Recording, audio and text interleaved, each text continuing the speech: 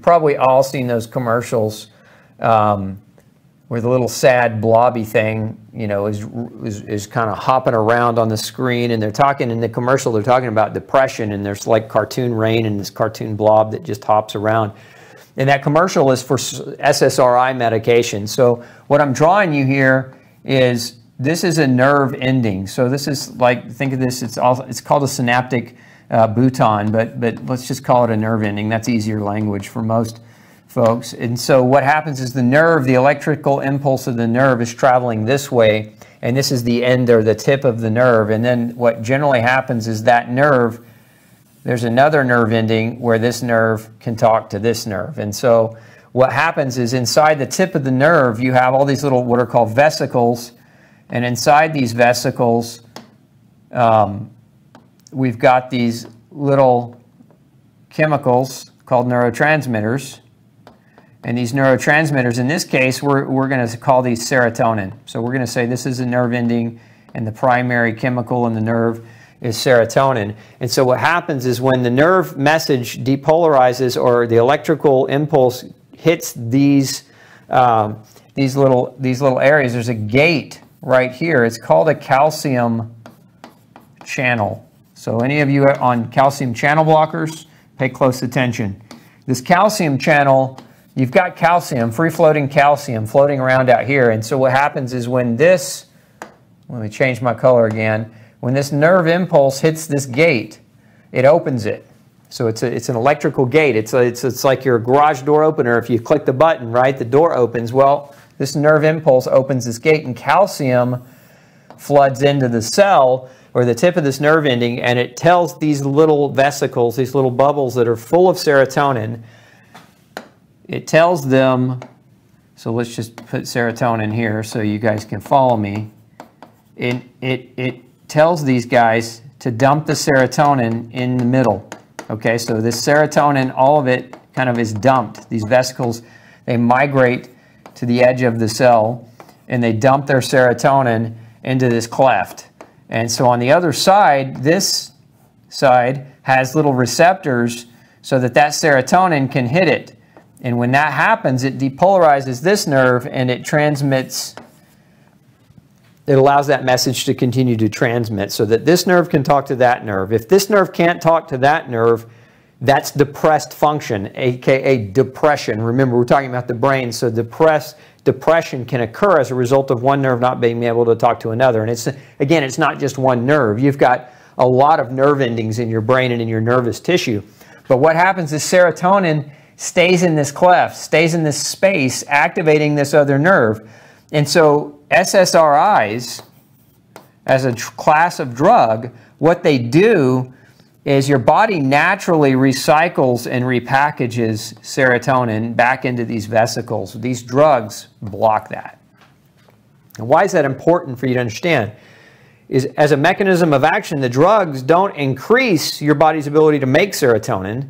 They just preserve how long the serotonin is capable of doing its job.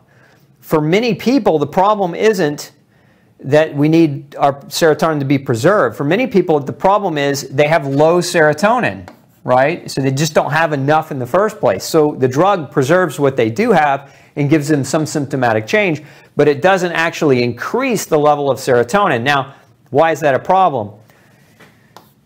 Because doctors are, they're barking up the wrong tree, in my opinion. You can't, if you're, look, you could have a tryptophan deficiency, right? If you have a tryptophan deficiency, you can't make serotonin. Remember that um, serotonin comes from tryptophan, and that comes from your diet, right? And, and to, to convert tryptophan to serotonin, that requires vitamin B6. So the doctor, instead of doing this first, okay, which is giving you a medication that preserves the serotonin, they should be asking a different question. Why is your serotonin, why are you behaving as if your serotonin is low? There are a number of things that can be done. Number one, they can measure your serotonin level. Number two, they can measure your tryptophan. They can measure your B6, and they can see whether or not there's a problem here. But remember, I also said that calcium plays a role in talking to these bubbles that are full of serotonin. And so if you're calcium deficient, this can also depress this process. So these, and if you're taking calcium channel blockers, this can also suppress the way that this process works. So you got to go deeper sometimes than just trying to attack it from kind of face value. So just wanted to share that with you because I know many of you that listen to the show are, are men and women who have been put on antidepressants because you know because your doctor said you have a brain imbalance and that what i always find ironic is it's very easy to say you have a brain imbalance what, where the complexity comes in is identifying what the brain imbalance is. Most doctors just say subjectively, oh, you have a brain imbalance, take this drug. And they don't do any homework, right? They don't do any of the deep work to try to find out what the brain imbalance is. And then so they are just using you as an experiment, right? They're saying, let's try you on this drug and see how it works. But again, this is my opinion. The field of psychiatry is very, very subjective because very few people ever get biochemical analysis. Very few people get their vitamins and minerals tested when in fact vitamins and minerals are the precursors to producing those neurochemicals that create the brain imbalance in the first place. So uh, if you're in that situation, if you're watching tonight and you find yourself where you're depressed, you're on medications, your doctor's never measured you chemically to see whether or not you even have a chemical imbalance and they're just guessing at you, hopefully this information, if you take it to them, will allow you to have uh, kind of a, a more enlightening conversation and, and uh, hopefully get you some better solutions than maybe what you're currently, uh, currently doing. Okay, so let's see here. Let's talk about grain-free food sources of vitamin B6. Let's just switch this over to a new page here. So these are some of the really good sources. Now I will just say this, your, some of your richest source of vitamin B6 is meat. So, if but if you're on a plant-based diet, we've also got things here. So you can see salmon, turkey, chicken, grass-fed beef, shrimp. It's all meat. That's why it's on top because it's bang for bang, pound for pound. It's got the most. It's got more than these vegetables and fruits that are listed down here. That being said, though, you can get B6 from spinach, cabbage, bell peppers, sweet potato, banana, winter squash, broccoli, sunflower seeds, avocado, and onions are, again, all good grain-free. Uh, you know, if we're following the no grain, no pain diet, and those of you who are listening to me should be following no grain, no pain. If you're not, you need to get the book and read it so that you can get up to speed with us. But um, these are no grain, no pain approved sources of vitamin B6.